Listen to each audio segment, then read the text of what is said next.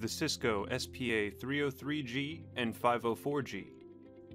In this video, we will go over the device features and some commonly used functionality to get you up to speed with your new phone.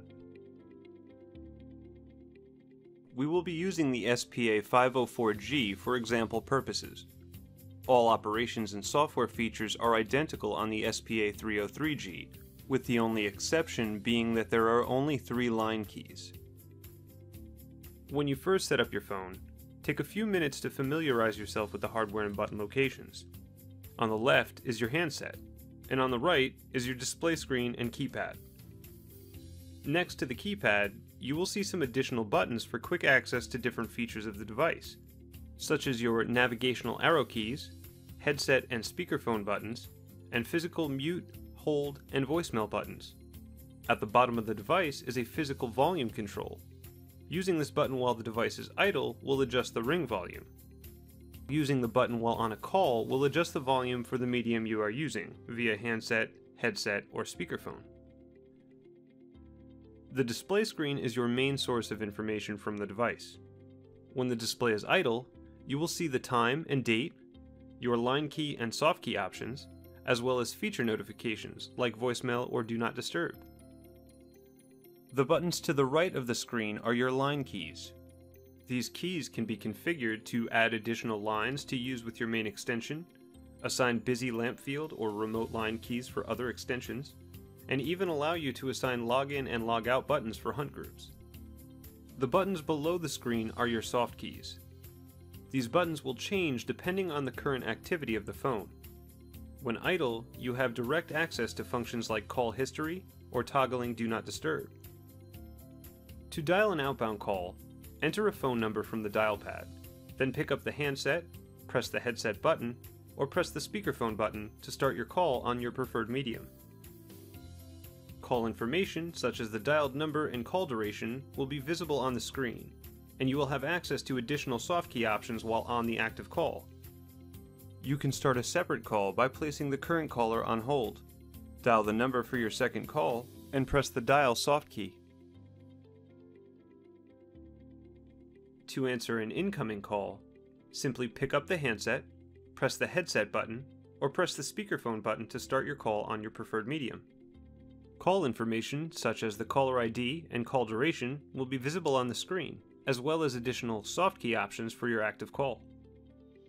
To answer a call waiting, simply press the blinking line key. This will automatically place the first caller on hold and answer the new call. You can return to the first caller by simply pressing the line key once more. While on a call, you can place the caller on hold by pressing the hold button or pressing the hold soft key. The call will immediately be placed on hold, showing the word hold on the display screen, as well as the caller ID phone number, and hold duration. To pick the call back up, press the line key where the call is being held, indicated by the blinking LED, or press the resume soft key on the screen. A warm or attended transfer allows you to consult with the party to which you are sending the call to before completing the transfer. On the bottom of the screen, press the transfer soft key. This will place the caller on hold.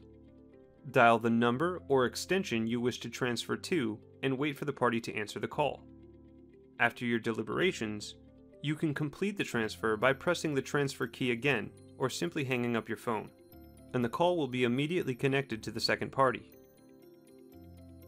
A blind transfer allows you to immediately transfer a call to another number or extension. Press the right arrow to access the second page of soft keys. You will see the soft key BXFR, which stands for blind transfer. When you press blind transfer, the call will still be live on your phone. Dial in the number or extension you wish to transfer the call to and press the OK soft key. The call will immediately start ringing to the second party. Conference calls allow you to merge two active calls together with your line, granting a three party call. While on a call, press the conference soft key. The initial party is placed on hold, and a new line is picked up for you to place another call. Dial the new number or extension and wait for the new party to answer. Finally, press the conference button again to merge the two calls. You can use the additional soft key options to manage the conference call. press the Hold soft key to put the conference call on hold. Press the Join soft key to join the callers on the conference together and disconnect yourself from the call. You can end the conference call by pressing the End Call soft key. If a caller needs to hold for a user that is not currently at their desk or is near a different device, you can easily park the call to allow them to pick it up from any device on the account. Press pound 7 while on a call. The call will immediately be placed on hold on a virtual extension number, and your device is sent an SMS text message to advise you of the parked extension. Now, any user can simply dial the extension number to immediately pick the call up on their device. The call history allows you to navigate your phone's call log. Press the menu button, then navigate to Call History and press the Select soft key. You can use the arrow keys to navigate between your redial, answered, and missed calls. You can also add a history call as a contact. Select the call with the up and down arrow keys, then press the right arrow key once to access the second set of soft keys. Press the Save soft key edit the name, and add any additional information, then press the Save Soft key again.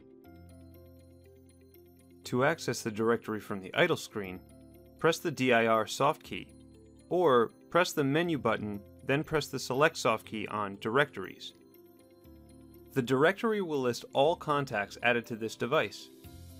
When you select a contact with the arrow keys, you will see additional soft keys to manage the listing, allowing you to dial out to the number, edit listing information, or delete the contact from your directory. You can also press the Add button and add additional contacts directly to the list. To turn on Do Not Disturb and send callers directly to voicemail, press the DND soft key on the idle display screen. The words Do Not Disturb will appear on the screen. Press the button again to turn off Do Not Disturb. You can set call forwarding from your device at any time. To set always on forwarding instantly, press the call forward soft key. Enter a phone number or extension and press dial to submit the entry.